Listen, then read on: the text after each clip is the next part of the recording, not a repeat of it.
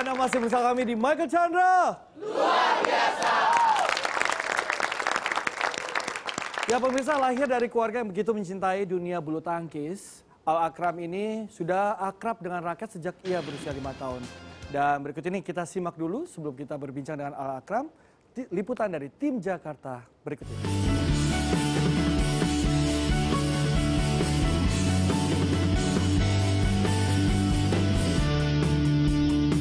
Bulu tangkis adalah olahraga rakyat yang cukup populer di Indonesia dan tidak heran jika banyak yang tertarik dengan olahraga yang satu ini. Salah satunya adalah Al Akram Ikmawan asal Makassar, Sulawesi Selatan. Atlet muda berusia 12 tahun ini tergabung dalam klub bulu tangkis yang berada di Kudus sejak tahun 2014. Setiap harinya, Akram rutin berlatih bersama teman-teman dan juga pelatih untuk mempersiapkan diri dalam ajang kompetisi nasional maupun internasional. Menurut saya sih dia pekerja keras, tidak sombong, suka banyak yang teman-teman sukai dia.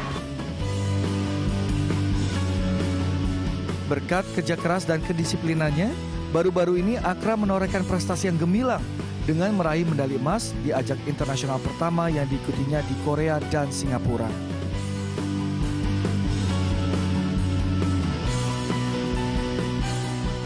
Tentu ini adalah sebuah prestasi yang membanggakan. Beberapa tahun ke depan, mungkin kita akan melihat Akram berlaga di ajang kejuaraan dunia bulu tangkis dan membawa harum nama Indonesia.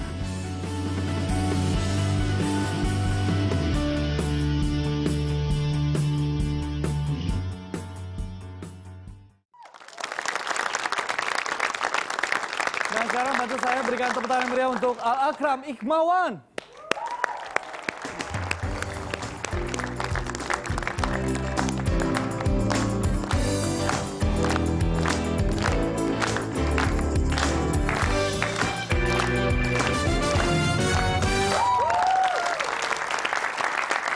Baru pulang dari Singapura kan? Ah, Korea, Korea. pertama Korea pertama. Lanjut Singapura lagi. Kalau dilihat medali emas semua ya. Iya, Susah nggak sih jadi seorang juara? iya pastinya susah. Pasti susah, saya yakin. Iya. Tapi bagaimana eh, waktu itu untuk kategori apa? Ini under 13, Under 13 Iya. untuk tunggal putra ganda putra. dan ganda putra. Itu semua di Singapura dan juga di Korea. Korea. Waktu itu kira-kira ada punya mimpi nggak, bermimpi nggak bisa bawa pulang medali emas? Ya enggak juga, enggak terlalu bermimpi. Sama sekali nggak bermimpi. Apa modal terbesar yang kira-kira dilakukan untuk bisa mendapatkan medali emas itu, Akram? Ya, paling kedisiplinannya di itu lagi. Kedisiplinan. Ya, disiplin. Nah, kedisiplinan seperti apa nih, Akram? Mungkin pemirsa dan penonton juga ingin tahu. Seperti apa sih Akram menjalani masa-masa latihan tuh disiplinnya seperti apa? Eh, latihannya lebih giat lagi gitu. Mm-mm. Terus Sehari latihan berapa kali? dua kali. Dua kali. Berapa lama sat- satu kali latihannya? Tiga jam sampai empat jam. Tiga jam sampai empat jam. Iya. Kalau Akram tiba-tiba eh, capek gitu, lagi nggak in the mood biasanya, tetap tetap latihan? Tetap latihan. Tetap latihan. Pernah bosan nggak? Latihan kan 3-4 jam sekali latihan. Sehari dua kali latihan ya? Nah, Berarti 8 jam. Pernah bosan nggak? Enggak pernah. Nggak pernah bosan? Pernah bosan. Nggak. Jadi benar-benar fokus, Fokus bulu tangkis. bulu tangkis. Iya. Kenapa sih Akram? Penasaran Kak Michael begitu mencintai dunia bulu tangkis? Ya karena ayah juga gitu kan atlet dulu kan ayah. Terus ngeliat ayah latihan kayak pertandingan kayaknya seru gitu. Ya ikut-ikutan latihan. Oh dari situ Sampai sekarang. Sampai sekarang. Iya. Waktu awal-awal mengenal eh, bulu tangkis, dikenalkan sama ayah berarti, diajarkan oleh ayah. Ah, ah, ayah. Apa eh, kenangan pertama kali diajar oleh ayah seperti apa? Ya susah sekali ya mungkin. Mukul itu masih pakai kok itu digantung. Pukul. Lalu eh, kalau kita bicara soal bertanding nih, pernah kebayang nggak waktu kecil belajar mengenal bulu tangkis sampai akhirnya sekarang bisa bertanding membela nama Indonesia lagi? Wah itu nggak nyangka belum. Apakah ini juga termasuk perjalanan ke luar negeri pertama buat Akram ke Korea dan Singapura? Iya pertama kali. Wow, Pertama kali. dan langsung menang. Ya Wow, luar biasa dong. Ini pertama kali ke Korea. ke kompetisi Nah, internasional negeri, ya. dan langsung menang. Langsung menang. Dan ini juga kompetisi pertama atau sebelumnya sudah pernah ikut kompetisi? Kompetisi pertama. Kompetisi pertama?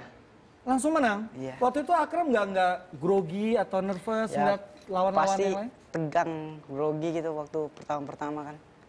Hmm. Memba- membawa nama Indonesia juga. Oh, jadi ada groginya karena bawa Iya. nama Indonesia dan juga ini kompetisi pertama Ah, di luar negeri pula. Bisa ceritain nggak sih waktu di Korea maupun di Singapura ini lawannya siapa dan siapa lawan yang paling berat? Yang paling berat itu. Yang paling berat itu dari Korea, Thailand sama Indonesia sendiri juga berat. Oh, jadi dari Korea, Thailand, Thailand, dan Indonesia Indonesia, juga. A- apa yang paling diingat? Kenapa Korea paling berat? Kenapa Thailand berat? Korea dulu deh. Karena Korea mungkin di sana udah ter apa? Udah suasananya mungkin dia sudah tahu. Kita kan belum tahu. Cuacanya Ya, sudah cuaca. bisa adaptasi Ah, sama cuaca adaptasi, dan ya. lain lain sebagainya. Kalau Thailand? Kalau Thailand mungkin kemarin ya kurang sabar aja kali ya. Oh, kurang sabar. Iya. Jadi orangnya lebih Ah, ah, lebih agresif. agresif Iya. begitu ya. Kalau Indonesia sendiri? Kalau Indonesia sendiri ya satu klub, satu klub sering ketemu juga. Oh, satu klub ketemu juga jadi udah tahu pola permainannya Udah ya. tahu. Tapi semua bisa diatasi dan akhirnya Akram jadi juara di sana. Iya, bisa. Wah, hebat. Luar biasa. Sekarang tentu saya yakin atlet ini sukses tidak mungkin sendiri. Pasti ada bimbingan dari para pelatih ya. Salah satu pelatihnya Akram adalah Engga Enggak Setiawan ya. Iya. Ada bersama kita Pak Engga. Wah, selamat dulu Pak sudah mengharumkan nama Indonesia di kancah internasional. Terima kasih. Metode apa nih Pak yang dilakukan yang diterapkan untuk uh, Akram? Ya, seperti biasa, metode latihan seperti biasa setiap harinya. Tapi se- sebelum bertanding itu kita ada siapin program khusus buat dia. Jadi yang biasanya sehari dua kali, kita dalam satu minggu ada seasonnya tiga kali. Apakah ini termasuk juga melihat bagaimana pola permainan dari tim lawan? Ya, salah satunya kita sudah juga mempelajari gitu. Eh, sebelumnya ada dari pemain dari Korea, dari Thailand kita sudah pernah melihat juga ya waktu dia mereka tampil di event di Indonesia. Gitu kita pelajari sedikit demi sedikit. Tapi kan eh, sekedar hanya bayangan, kira-kira seperti apa nanti yang akan dihadapi dia gitu. Jadi kalau Pak biasa. Engga sendiri melihatnya potensi apa nih uh, dari seorang Akram yang bisa dikembangkan lebih lanjut? Ya banyak sih masih perlu banyak yang masih bisa dikembangkan karena usia yang masih muda. Sebenarnya masih banyak sekali ya dari teknik, fisik, dari mental, segalanya masih bisa dikembangin terus masih banyak lah gitu.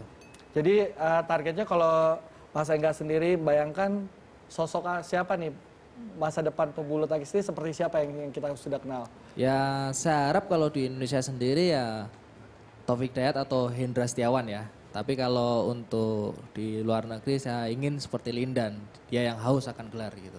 Wow. Terima kasih.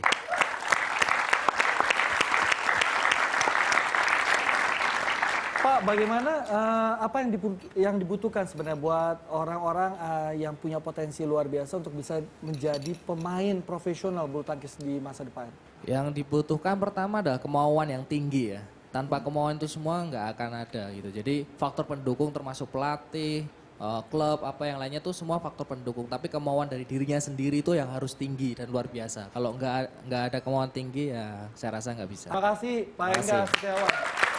Dan teman-teman, sekarang kalau ditanya Akram sendiri sudah puas dengan menjadi juara? Belum. Belum. Kira-kira target ke depan apa?